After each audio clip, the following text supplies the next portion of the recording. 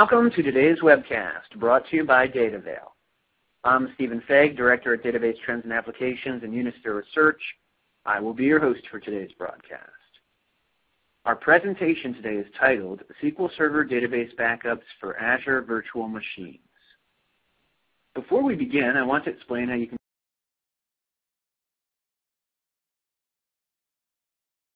be a part of this broadcast. There will be a question and answer session.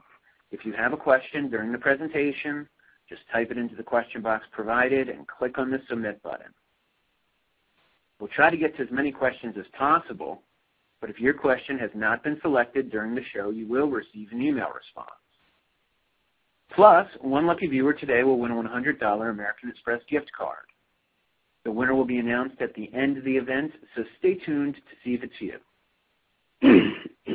now, to introduce our speaker for today, Andy McDermott, SQL Server DBA at Datavail. For more information on Andy, you can click on the arrow under his headshot. Now I'm going to pass the event over to Andy. Uh, hey everyone, and welcome to the presentation, SQL Server Database Backups on Azure VMs. Uh, so today's presentation is all about backups and specifically working with uh, SQL Server backups uh, in Azure.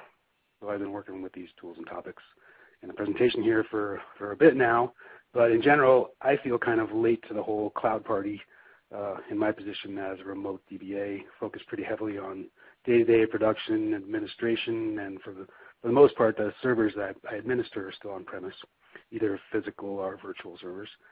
So although the, crowd, the cloud has been around for a while now, it's pretty recent for me that I started really digging in uh, mostly because more and more of the clients I'm supporting are finally, are finally going that way.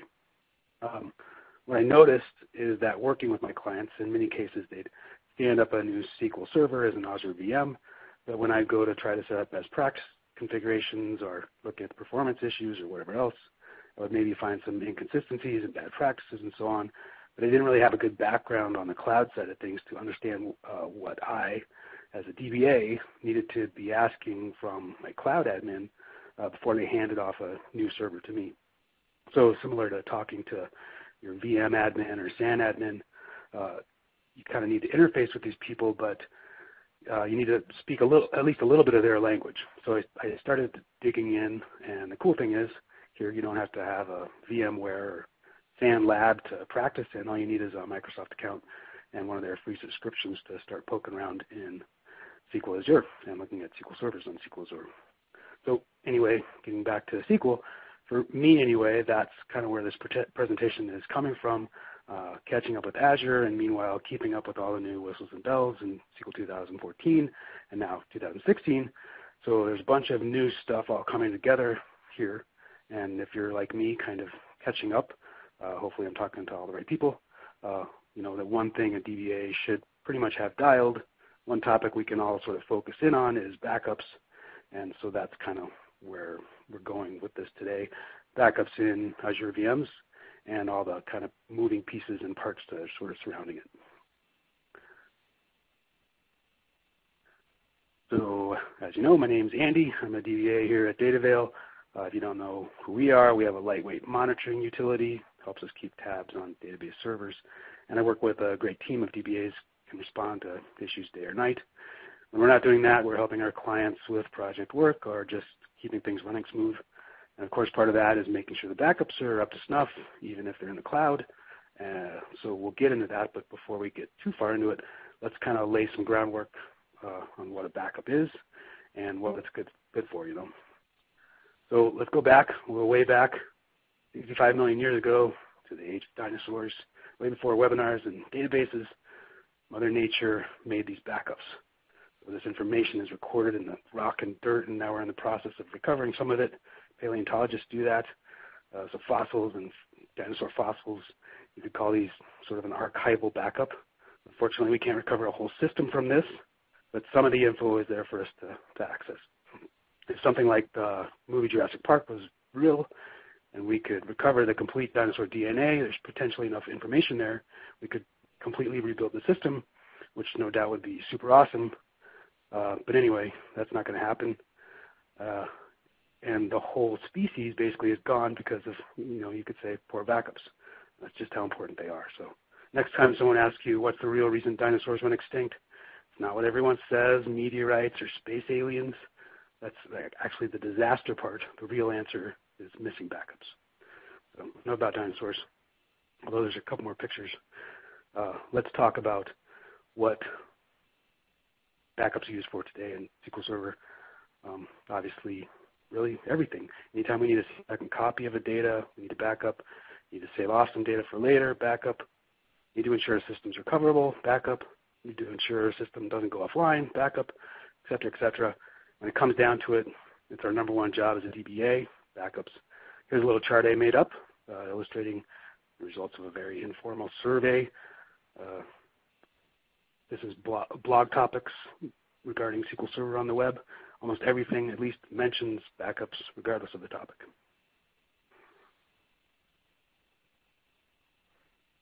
So if you're a DBA and I'm a DBA, hopefully we can agree on some fundamentals here as the last slide of this sort of introduction. Uh, I want to talk about backup best practices. So this may not be exactly the way you do it, and that's okay. Just want to lay down a decent scenario or some kind of a standard we can reference later as we look at some ways of moving SQL Server into the cloud and how that's going to change a backup plan.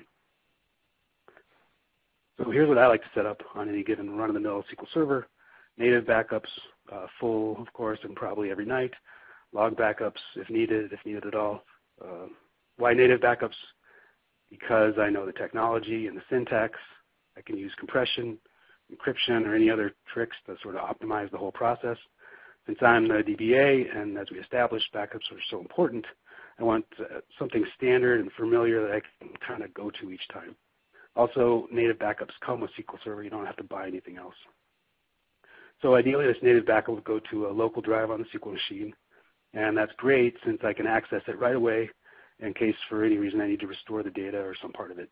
I don't need uh, multiple days of backups there on that local disk. Maybe just one is enough uh, to make my job that much easier in case I do, do need to restore that data.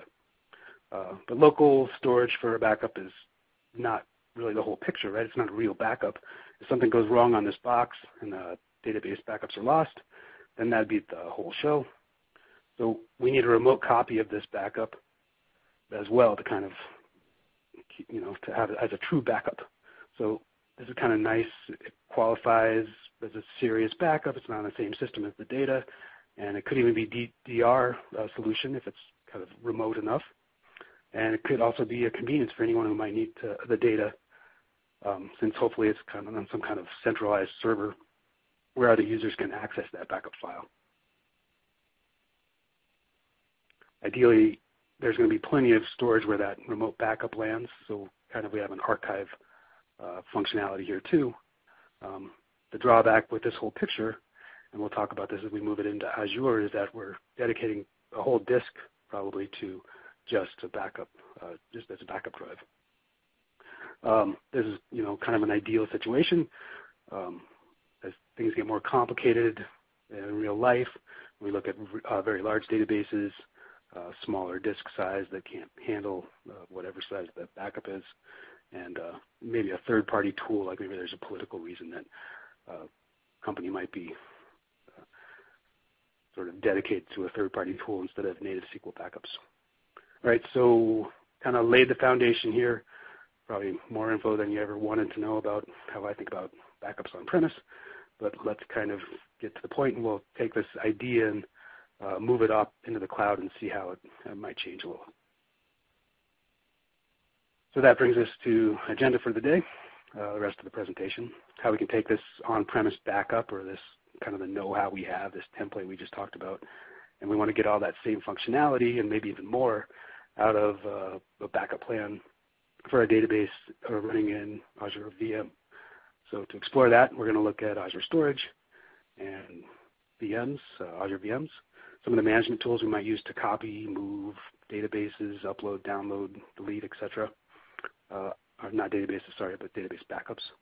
And uh, of course, some of the new uh, database backup features in Azure uh, that we can use in the cloud.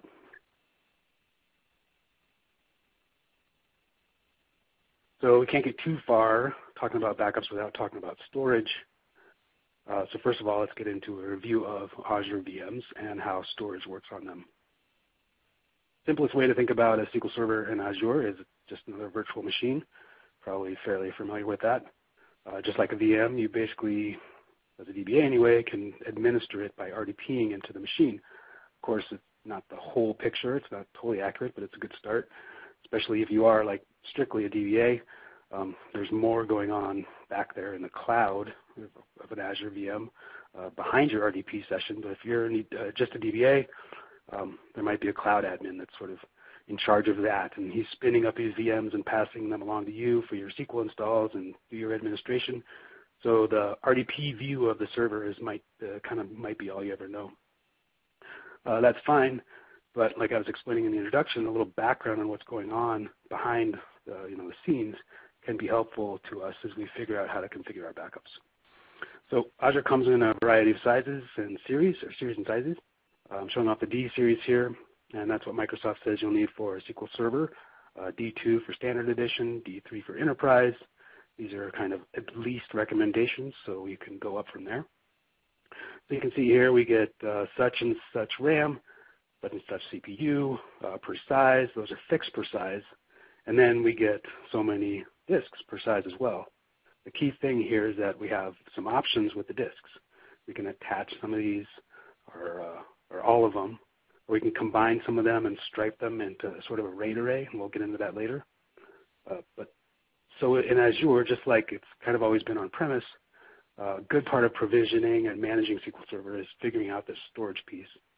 And of course, since database backups are in general going to go to file, we need to also consider how the storage is going to work for our backup solution.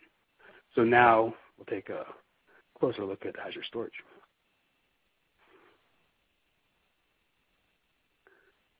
So when you or your cloud admin builds a new SQL, uh, or sorry, new Azure Windows Server, it comes with C and D, drives right out of the box. Um, all the other storage disks, the ones we just talked about in the last drive, uh, last slide, sorry, need to be attached to it. Uh, but first we must kind of create them within a storage account. So these storage accounts are hosted on storage stamps, which is a big group of disks uh, up in the cloud, sort of analogous to a SAN. Within each one of these stamps, there are so many disks providing some similar IOPS, and each stamp has its own kind of fault and update domain. That means if a switch or something fails on the top of a particular stamp, that whole stamp is going down. And it means when it's time for updates, that whole stamp might be down for updates. So Microsoft is guaranteeing uh, three and a half nines availability for this Azure stuff, and there's no way that's going to happen if your database disk is somewhere on a stamp and that stamp is failing or undergoing some update process. So to keep the data available, it's replicated. So when you or, you or I uh, create a disk in Azure and we drop a database in there, that database data is replicated three times over distinct fault and update domains. Three writes sounds kind of slow. Uh, maybe, maybe not, but it's a bit off topic, but that's one reason we always want to ensure that we're using instant file initiation uh, on our uh, SQL Server operating systems. And definitely we're always going to want to use compression when we do our backups. So we're getting these three writes, but we might as well keep those writes reduced as much as possible. So something like backup compression is going to help us there. Anyway, as far as the redundancy goes, it's pretty good. We're in good shape here. So that's pretty much the most basic, simple looking storage that I just described. Uh, and that's called locally redundant storage. But there's quite a bit other options out there that they'll uh, let us use. And this is what we have available. So we have that local redundant storage, geo-replicated storage, read access geo-replicated, zone replicated, and premium local redundant storage. Um, we're not going to actually get into zone replicated storage, but we'll touch on each one of these other ones uh, and get into a little bit of the details of them.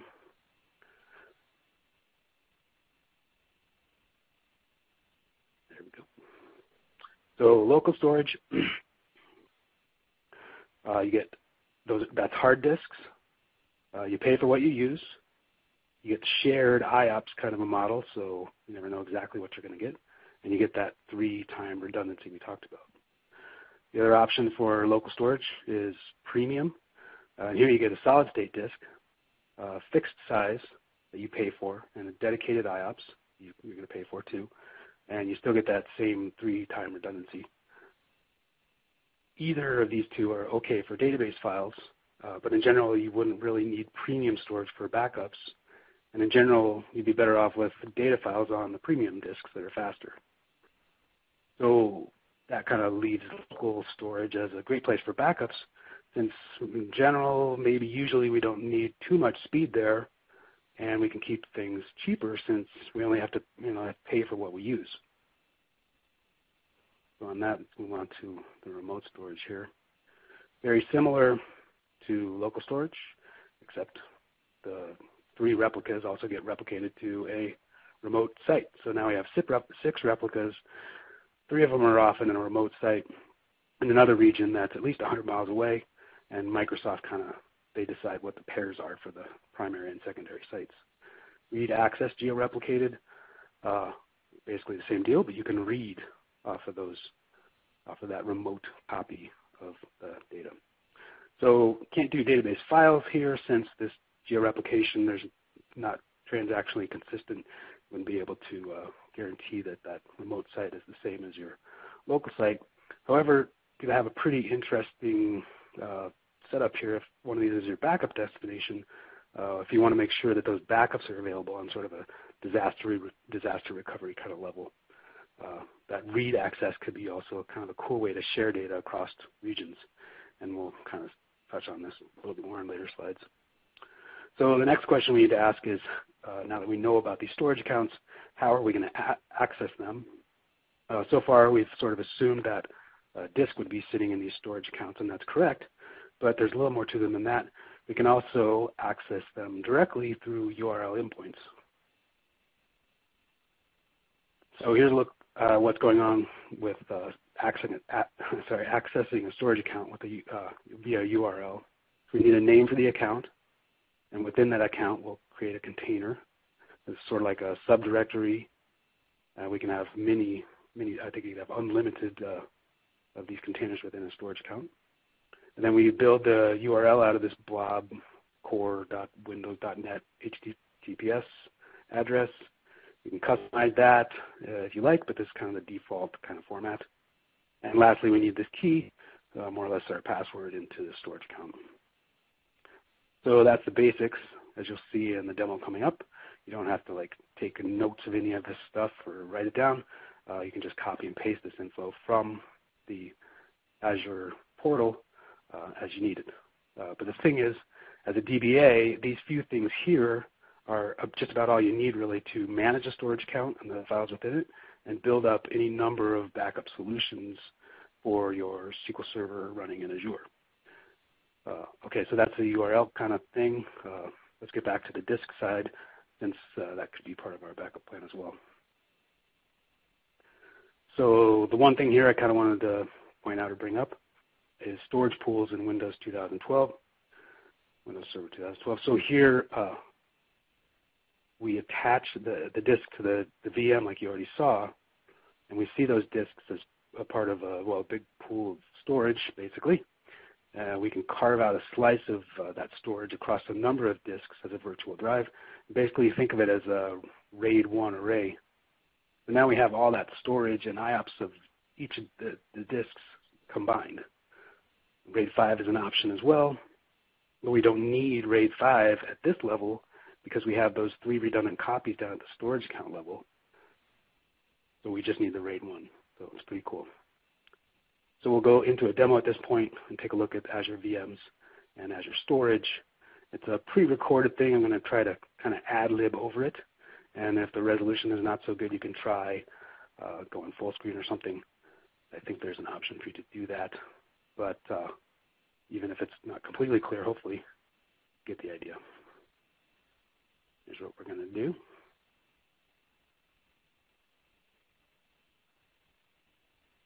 So I got a virtual machine already created here.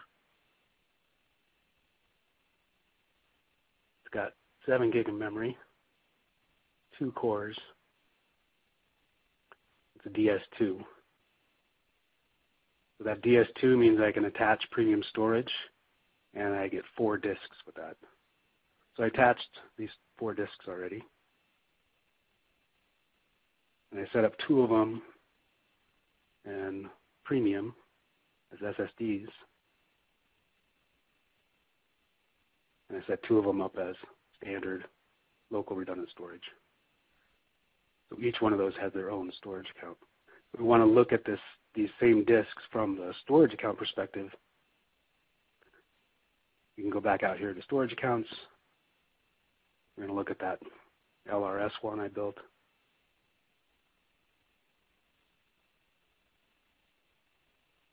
Within the storage account, we're looking at the blob service.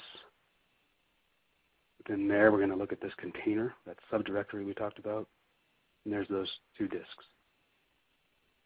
So if we're setting up a backup solution in SQL Server 2014 on the Windows Azure, we don't necessarily want to use those data. You know, we kind of want to dedicate those to to our to our data.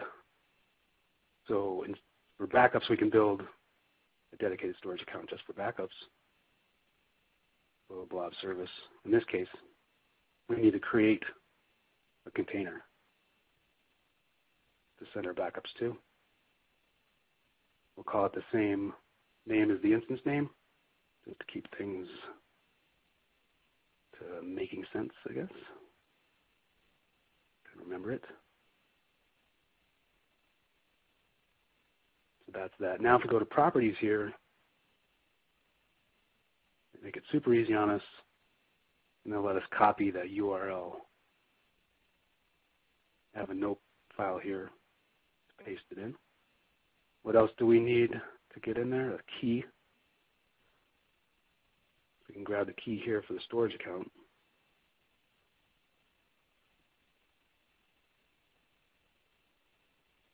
Paste that in. And last thing we need is the storage account name.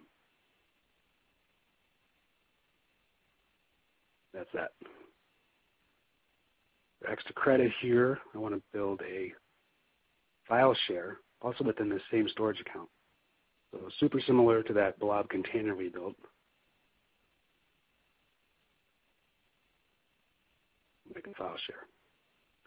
And these are super cool because you could get to this from basically anywhere, anywhere local or in the cloud. And instead of that URL connection, give you a NetUse command line. All you have to do is drop in your um, key and your uh, sorry uh, uh, uh, storage account name. I'll show you that in a minute.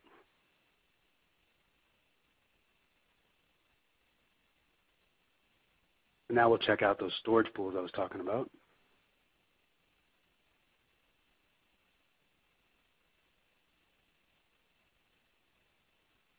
Here I built two storage pools. Each one has two disks in it.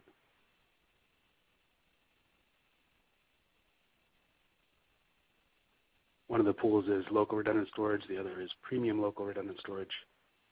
I did that so I could sort of test out some uh, throughput for backup, backing things up here. So you might have a completely different setup, but hopefully you get the idea here. Those two disks are striped within each within each of these drives we're looking at. So that's that demo.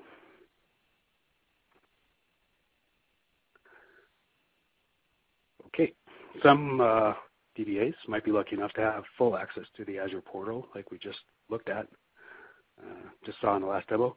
But in many cases, the access we have um, is just going to be like we talked about, just through the, RDP console. So I don't know about you, but uh, it's difficult for me to sort of let that go and just not know where my database backups are going, just send them off in the cloud somewhere without actually seeing where they end up. Uh, not only that, but we have a number of reasons we need to access those backup files probably. Say we need to refresh to another instance or refresh back to the, the instance we're working on, verify a sequence of transaction logs, etc. Uh, so that's where these Azure storage management tools come in handy. They'll allow us some degree of access to the backup files without requiring that full access uh, into the Azure portal and that and that subscription. So the first one here is storage uh, storage support sorry Storage Explorer, the Microsoft Azure Storage Explorer. It's pretty cool, and it gives you a super friendly, organized look, uh, like a Windows Explorer kind of view into the storage counts and the functionality. Uh, it's, it's, all there, kind of the same functionality, just to, to do just about anything you can uh, delete and copy and move stuff around, upload and download.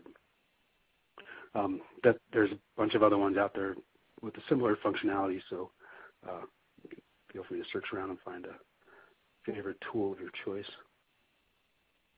Next one to look at here is AZ Copy. Um, real similar to like a RoboCopy for the cloud, right? Uh, this does, again, just about anything you need to do as far as managing your files. You can easily write a script to call this utility so you can automate common tasks. Uh, one advantage here is, uh, you know, kind of like the whole idea here is that you don't need to log into the whole subscription. You can just access a storage account. Um, all you need is, like we talked about, that URL and the key and the storage account name. So there's kind of these three three pieces to that uh, to allowing a DBA to access that stuff. Next one to look at is PowerShell. So PowerShell can access things on that individual storage account level or the whole subscription if you like. Uh, of course, you can pretty much literally do any, anything and everything within Azure with PowerShell, including all this storage account administration we're talking about. Uh, maybe the drawback is that it's going to take a bit longer to get to know those commandlets um, over the point-and-click type of interface of the Microsoft Azure Storage Explorer we looked at earlier, but um, probably time well, well, spent. I know I'm trying to always get uh, get better at that stuff. If you want to uh, take a look and download these tools, or a number of other ones, you can search around for them. Sure, they'll, pop up of any kind of an internet search. But you can also go here if you want to ever get this download the slide deck. Um, you can just get the SDK tools. All those are in there, and there's a bunch of other pretty neat stuff to poke around and play with. Uh, last one to take a look at is good old Management Studio, familiar to all of us.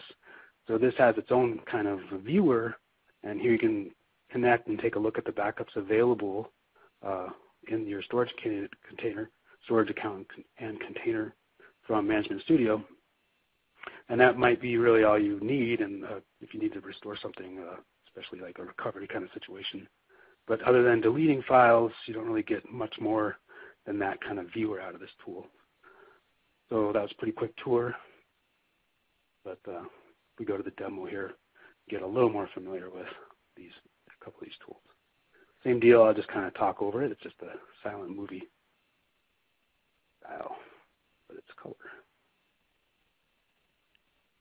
So this is Storage Explorer. You can see it's very Windows Explorer kind of thing. Here we're drilling down into that local redundant storage that I showed you in the last demo. You can see those same two disks. So we decided we didn't want to take backups there. We built this other storage account. And in the blobs, we'll find our container.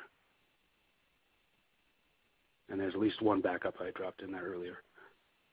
So you get an idea of all the stuff you can do, upload, download, delete, move, copy, etc.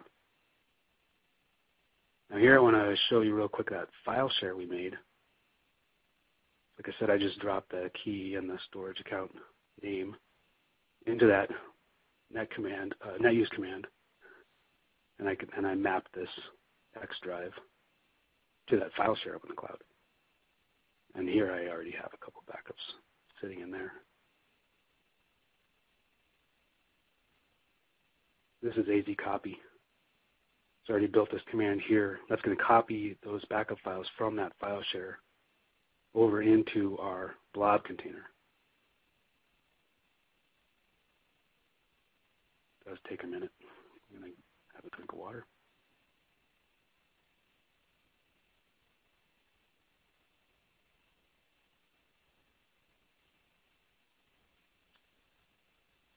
Watching paint dry.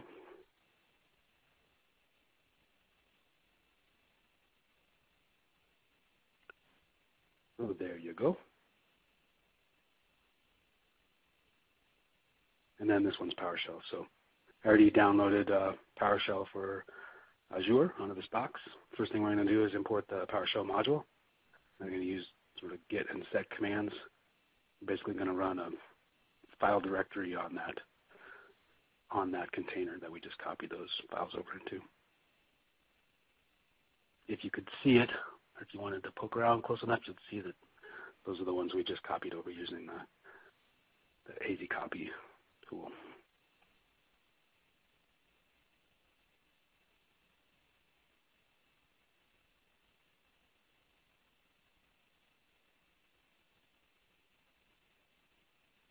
That's that demo. So we'll move on to SQL database options. First thing I want to talk about, first option for SQL Server on Azure VM, is this kind of third-party backup using VDI and VSS file copies. So these applications like Azure Backups or Windows Server Backup or any number of other third-party tools, Avamar or NetBackup are the ones I'm working with lately, uh, are intended to back up the entire system, right, by snapshotting the files and sending them off to some kind of centralized backup storage location.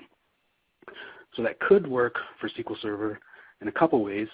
Uh, one way is to allow the app to snapshot the MDF and LDF data, data files just like every other file it does.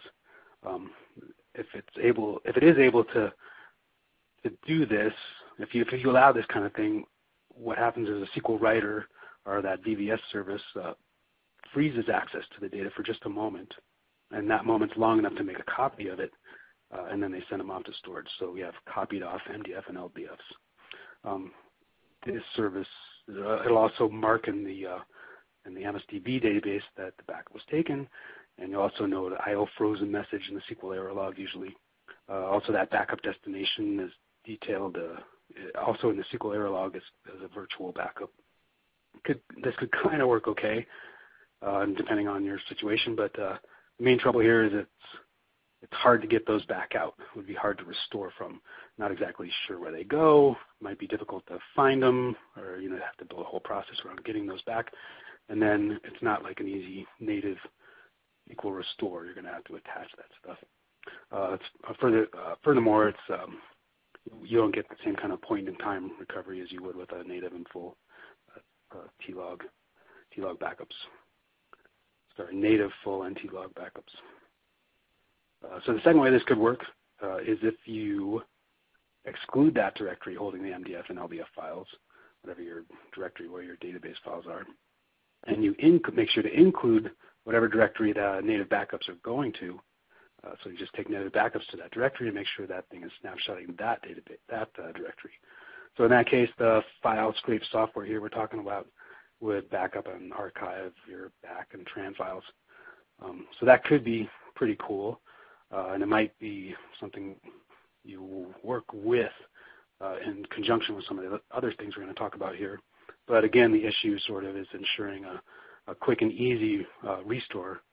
Um, so if those are tough to access, then it may not be the best solution.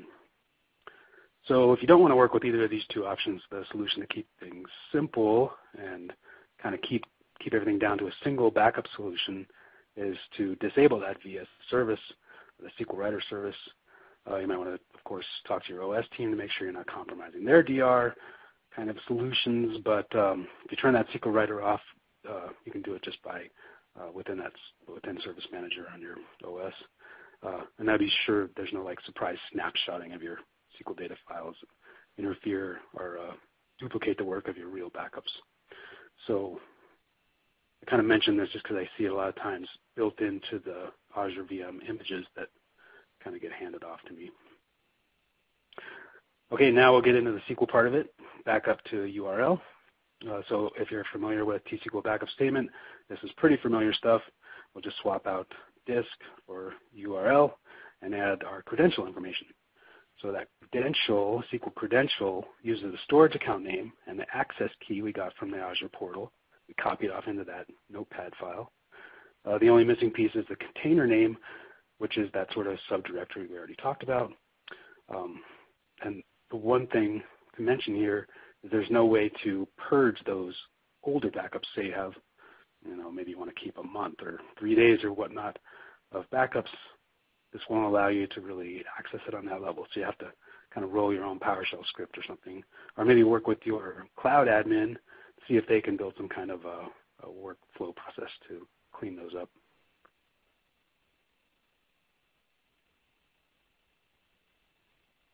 Next one here is manage backups. Uh, they use all the same objects kind of as the backup to URL. We need that storage account, the key, and a credential. Uh, one interesting kind of wrinkle here is we don't need that container. This thing's going to build its own container, which comes out sort of as a GUID sort of uh, number. Uh, so we can enable and configure via Management Studio. Um, at least in 2014 we can. And uh, of course, we could also do it in T-SQL. Uh, in this case, we're just kind of keeping it simple, and we'll look at the, the SSMS sort of version of it.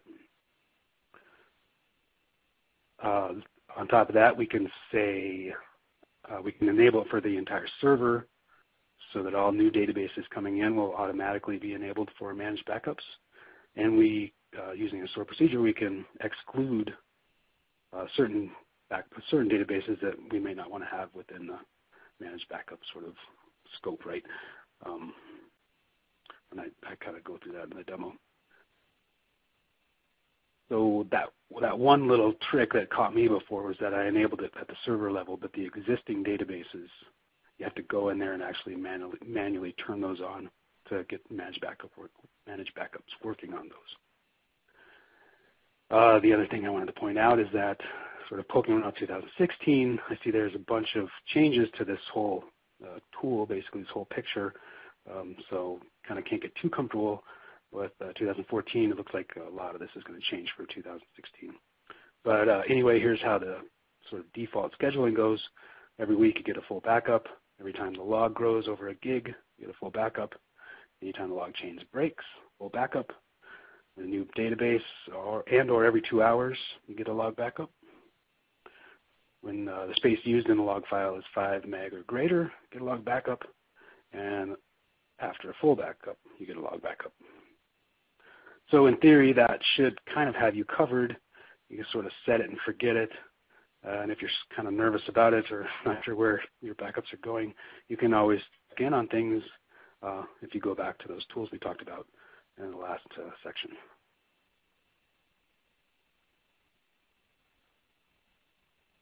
Uh, last one here I want to talk about is backup to the Windows Azure tool. So we have backups to URL for SQL 2012. I think it's uh, Service Pack 2, and it might be CU U4.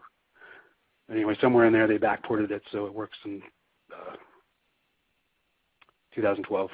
And we have managed backups for 2012 and later, but that kind of leaves us in the cold for SQL 2008 and SQL 2005 which there's still plenty of around. And that's where this tool comes in handy. Microsoft, uh, we call it backup to Windows Azure, Azure tool. Uh, this is a service kind of runs on that SQL box. Basically, it's going to watch. It's a watcher. It watches the directory that you tell it to. When a SQL backup file lands in that directory via a native backup, probably done by a, the SQL agent, uh, that service grabs it, can optionally compress it and or encrypt it and it sends it up to the Azure Storage account. In its place, it leaves behind a little metadata file, a little tag file, which is kind of a pointer to where the real backup lives in the storage account. So when you do need to restore that file, uh, standard T-SQL restore command within SQL Server will work on that meta file. The service is smart enough to see what's going on. It forwards that kind of request, request to restore it up to the, the storage account in Azure, finds that account, pulls it down, and allows SQL to restore it. So uh, what's more, in this case, those meta files, in case they get lost on the local side, they're also copied up to the Azure Storage account. So in case there's sort of an issue or a, a disaster kind of deal on your SQL Server side, those metadata tag files are still available, and you can copy them back down and, and use them to restore a database anywhere else. Um, the other really cool thing about this tool is that we don't have to use it to send things to the cloud. We can take a local backup here and just build this uh, rule so that the backups stay local, but we get all the cool things out of 2000, was it 2012 and 2014, actually goes back to 2008 for compression, 2014 for database encryption. Uh, we can add those things kind of back, port them to our 2005 and 2008 instances, and we don't have to send those to the cloud. We can just keep them local. So now you can compress a 2005 and or encrypt a 2005 uh, database backup. A couple times I've mentioned that when backing things up to Azure Storage, we have a harder time purging those old backups than you know we might if we just were backing it up to a local disk. So it's a good time to show you this link. Uh, Stack Overflow question that Paul White asked, um, which he answers a lot of questions, so it's kind of funny to see him ask one. Um, but it has a nice little Power, uh, PowerShell script example in here to purge old backups uh, to keep our uh, storage account containers kind of down to size.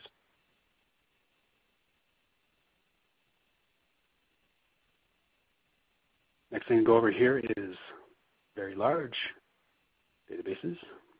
So one thing I'm hoping to get across here is that it works really well to kind of commit to this new world or new cloud, whatever you want to call it.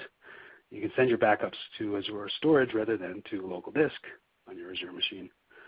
So for one thing, uh, for all practical purposes, there's not really any difference between those two things, disks or the blob storage. It's all the same cloud storage behind the curtains. It's just a different way of accessing it. Uh, the other reason is that it's best to use those disks that we have on the SQL Server for data, not backed up data. It's, it's a bit of a waste to back up something, have a backup file sitting there, say on like an expensive premium disk that could be put to much better use in a storage pool. So that's all great, but it kind of all goes out the window with these very large databases. I kind of ran into this recently with really just a moderate sized SharePoint database. It turned out to be a lot faster to back it up to a local disk on my Azure VM than to try to send it out to Azure Storage because I was able to stripe uh, the backup, stripe the backup set, and you can't do that yet, uh, at least not yet, when you're backing up to a URL. So I sacrificed a disk for local backups now I have this sort of split solution where I'm backing up one pretty large database to uh, in a striped set to a local disk, and the rest of my databases are getting backed up via URL to an Azure Storage account. So the things that will stop you when you're trying to figure out how to back up your large database uh, to Azure Storage is uh, not five, it should be 500 terabyte limit on standard storage accounts. So that's not going to slow you down too much, probably, unless you have a seriously big database.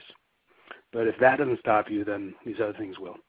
You get a one terabyte limit on the blobs, so any backup file can only be one terabyte. Uh, you can't stripe backups to URL, but that's coming in 2006, and we'll touch on that later. And uh, other, other thing to think about is this throttling on the bandwidth per VM size. So for instance, that DS2 that we talked about uh, can go to 64 megs per second, um, but that's it. So if you have a really big backup, could take a long time to send it over to Azure storage uh, that way. So how can we get around some of this? Any one of these or a mixed bag of these workarounds could be a solution, right?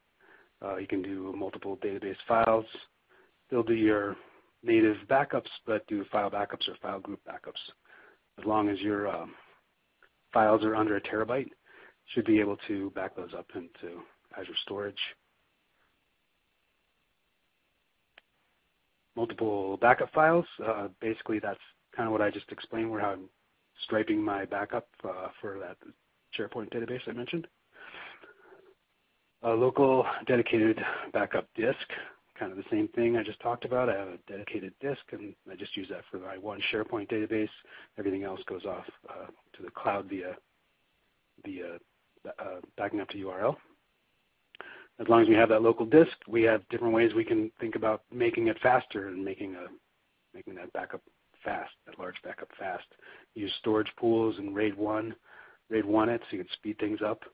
Uh, we can make it a uh, SSD. We can use premium local redundant storage on that and see if that will help super uh, speed it up to another notch. Um, what else? Like, say you needed some kind of redundancy, you could use that file share that we built uh, maybe that file share could be on a geo-redundant service account, or sorry, storage account.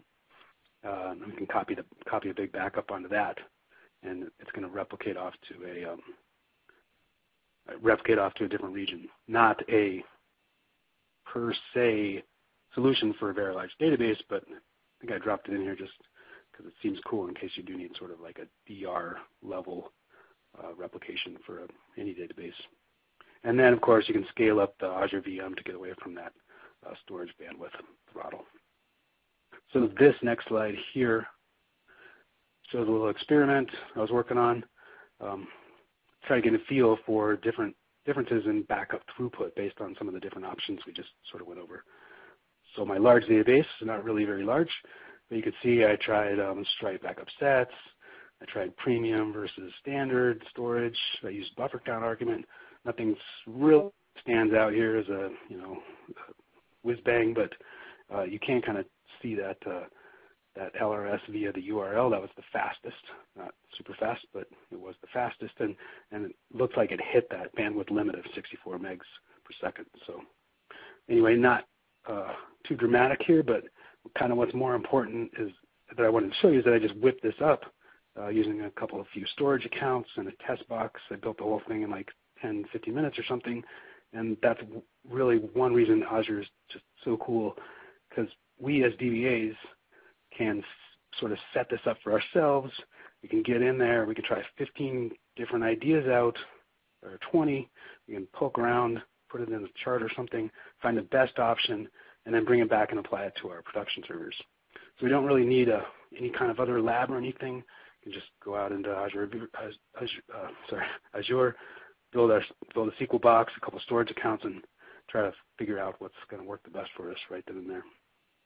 Uh, there's a lot more on this uh, kind of testing, what's the fastest as far as uh, backups goes. If you look at this link right here to Igor's blog, kind of cool stuff. He's got a lot of good stuff out there. So look at that guy. Where are we going next? To demo. So we're going to look at backing up to URL, manage backups, and that Microsoft backup, uh, SQL backup to Windows Azure tool that I talked about. Again, I'll just try to talk over it. So here's our three key things that I kind of keep pointing out. Storage account name, URL, storage key. Here's the SQL credential we had to build. Called a backup guy. Username and password is the storage account name and the key. Use the URL and the credential and back this database up to storage account.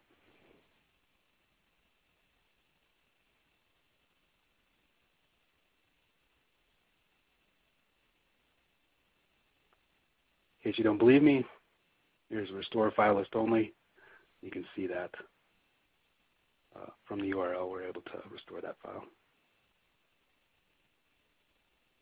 And show you this uh, tool, it's one of our management tools, right? Uh, so here we're going to look at our storage account from SQL Server Management Studio. See a number of the backups. Some of those ones we copied in there in that last demo.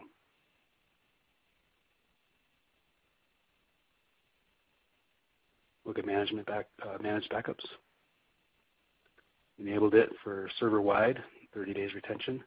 There's our backup guy. Our URL, we don't need a container because it builds its own container.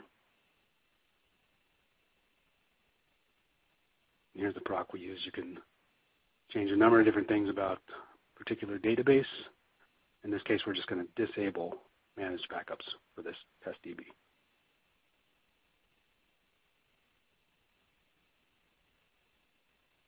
Here's our backup to SQL Azure tool.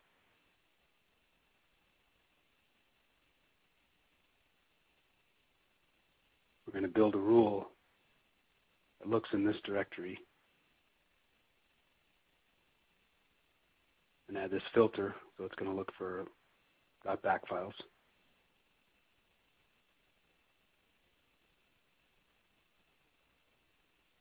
storage account name, key, container,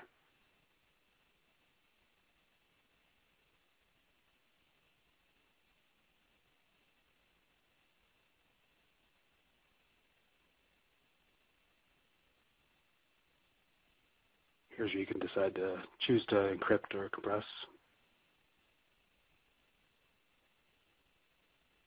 And there's a rule. So you could have a number of different rules in here for different directories, different filters like, uh, say, for instance, a .tran TRN. And here's, uh, took a backup to this here. The service picked it up and left this tag file. So if we needed to restore, we just restore this tag file, and the service is smart enough to basically forward that request out to the storage account and bring it back for SQL to restore. That's the end of that demo. Get questions about this. I'm no expert here, but I did want to kind of do a MythBuster slide here just to make sure we all know that yes, as of I think it was V12, uh, SQL Azure databases are getting backed up. It's all built in. It's all automatic. It's geo-redundant. It's point in timey. You get 7, 14, or 35 days uh, depending on your depending on your service tier. And somewhere back there behind the scene, these backups are living in a storage account. It's kind of like the cloud to cloud or something. So I'm not sure. I kind of infer that the mechanism that is driving these backups for this thing kind of the same as what's going on in managed backups uh, in 2014, 2016. And it's also kind of interesting to me anyway that uh, there must be a GRS account back there somewhere in the background, just like the one we, the ones we we looked at today, that's hosting these backups. So these guys, uh, Microsoft can say they're geo-redundant. Anyway, if you do need to restore, you can't see these as .bak files, as far as I know anyway, but you can kind of click through the portal to restore a point in time, or of course you can do it in PowerShell. And just about to wrap up here. Um, talks about mostly up to SQL 2014 today because um, part uh, I'm still working on the 2016 pieces. Uh, but I do uh, kind of want to go over a few things I think we can look forward to learning in 2016 as far as the backups go. So that very large database backup thing, more or less solved, uh, to some degree, since we'll have block blobs instead of page blobs, and we'll be able to stripe a backup uh, to a URL via URL. Uh, there's changes for Mac, uh, managed backups, We'll have custom schedules, uh, support for all backup types, not just um, full and tran. Uh, so we'll get diff, diff in there. And for all databases, so we'll not just it won't just be user databases, uh, which it is now. You can't do system databases. Uh, if you start reading up on managed backups and comparing them, uh, comparing books online, uh, documentation, 2014 to 2016, you'll start to see that just about everything seems to be changing there. So um, I'm going to be learning, learning up on that. Uh, and what's the other one here? Uh, I think uh, back in 2014, uh, you were able to start using a UNC path to host your, put your uh, database files on.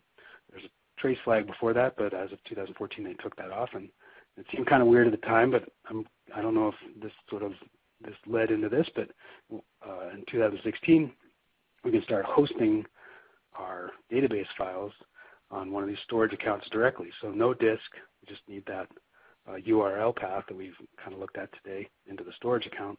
And if we do begin doing that, then there's this technology now called file snapshot backup, which is basically going to instantly back up the data. So I don't know much on it yet more or less just came across it as building this presentation, but uh, that we all be learning much more about it in the near future.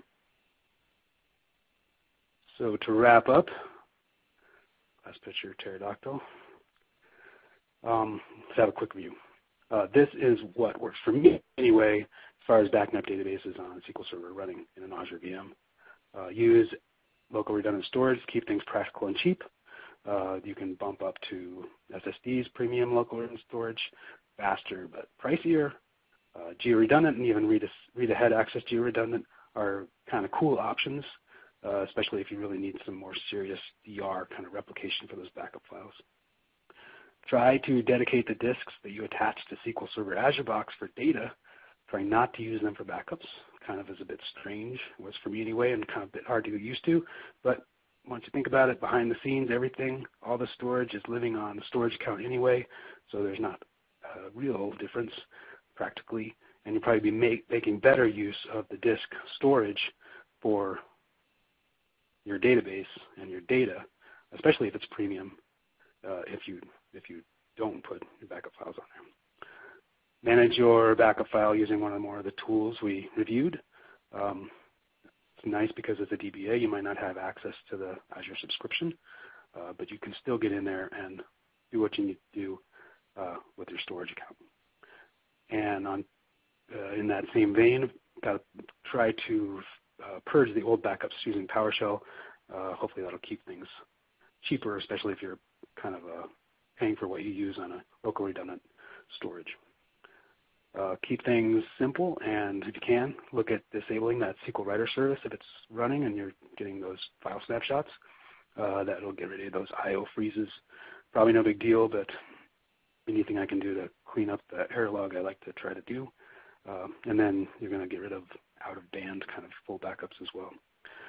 Uh, use the backup to URL or manage backups, um, depending on kind of what you need and your sort of personal tolerance to let go of that control. Uh, but uh, I can attest that uh, the stuff that I have set up using this stuff works great so far. And lastly, use that backup tool for uh, backup to Azure tool we looked at. Use that for your 2005 and 2008 instances. Um, pretty cool in Azure, but also pretty neat to uh, put that on your on-premise boxes for your older uh, SQL versions and compress the backups. So that wraps it up for me. Thanks for listening. Let us know if you have questions. Thanks for DBTA for hosting this, and I'll hand it back to Stephen. Thank you very much, Andy. At this point, we're going to move on to questions from our attendees today. And the first question is, can you turn off compression for deduplication?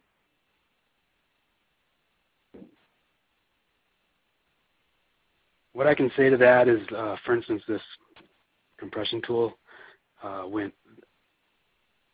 Yeah, I would turn. I don't know. I'm, I'm just going to leave that one out there. You can email me and we can we can poke around at it. But okay, that sounds good. Uh, next question: Can I back up my on-premises SQL Server database and restore on Azure using the management tools? Yep, you should be able to do that. You can back up to Azure Storage from SQL 2014 on-premise, and then you could use those tools to restore it or copy it up, or you should be able to restore it directly uh, from your storage account onto an Azure SQL Server. Understood. Our next question Moving SQL Server that was functioning earlier on a single server physical node onto a VM node has slowed the functioning of SQL Server and applications accessing it by a considerable amount. Does VM need more CPU or memory comparatively? That sounds like one you would have to dig into later. Uh, we're not kind of off topic too, since we're talking since that's a VM question, I think. Yes, absolutely. Okay. Our next question: uh, What version of SQL can I use managed backups in? Sorry, say it again. Uh, what version? What? Uh, what version of SQL can I use managed backups in? oh, starts server. Yeah, 2014 managed backups starts in 2014. Understood. And can you back up to that file share you mentioned? Uh, yeah, you could, but you'd have to add a couple twists. You want your SQL Server to sort of map that drive itself, kind of like an old style uh, when we used to back up to file shares. So that would be one thing you'd have to think about if you wanted to set that up. Understood. That is all the time we have for questions today. We apologize that we were unable to get to all your questions, but as I stated earlier, all questions will be answered via email. I'd like to thank our speaker today, Andy McDermott, full server DBA at Datavail. If you would like to review this presentation or send it to a colleague, please use the same URL that you used for today's live event. It will be archived and you will receive an email tomorrow once the archive is posted. Plus, if you would like a PDF of this presentation, click on the resource icon at the bottom of your console. Now, as we stated earlier, just for participating in today's event, someone would win a $100 American Express gift card. And the winner today is Jim Nelson. Jim, we will be in touch via email so you can claim your prize. Thank you, everyone, for joining us today, and we hope to see you again soon. Thank you, ladies and gentlemen. This concludes today's conference. Thank you for participating. You may now disconnect.